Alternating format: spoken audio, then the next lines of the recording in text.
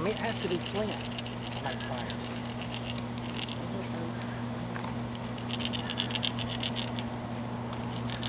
It's not gonna work. I'm trying to make it.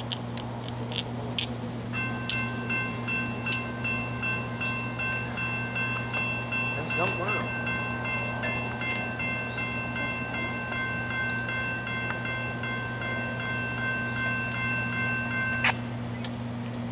Gate sure to go down a long time before the train gets over here. and goes back up.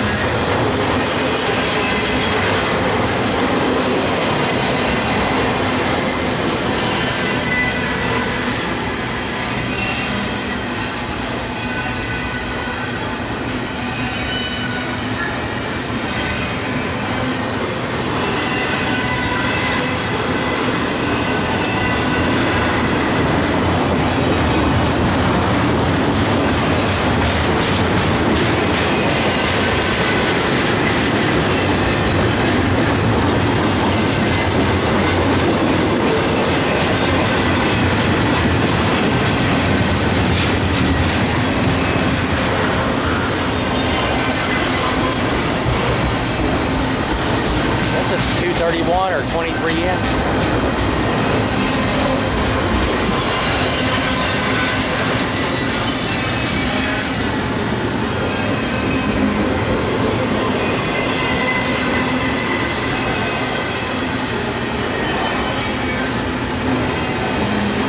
Into the yard.